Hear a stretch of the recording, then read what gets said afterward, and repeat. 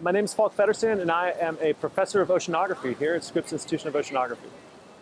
My research work focuses from the back part of the beach all the way out maybe half a mile offshore where waves really start to feel the bottom and come in. And a large part of my research is focused on the effects of waves. And so how waves come in to the beach, how they focus, how they break, how they dissipate their energy, how they run up the beach, how they pick up sand off the bottom, and how they move sand around. Now, how this relates to sea level rise is that many beaches are set up in an equilibrium state. So they like the sort of configuration they're in.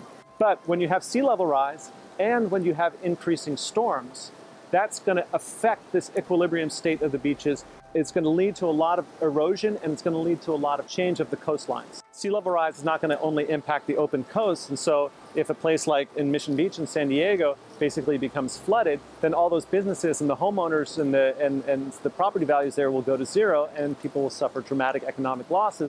The other sorts of impacts are on wetlands and on ecosystems and on all the creatures that inhabit the coastal zones, from the rocky intertidal down over there to all the wetlands and marshes inside estuaries down in like the Tijuana River estuary, for example. The beaches are going to be drastically different in, in let's say 50 years and for sure in 100 years. And your kids now, when they're grandparents and they take their kids here to La Jolla Shores, they are not going to recognize this place.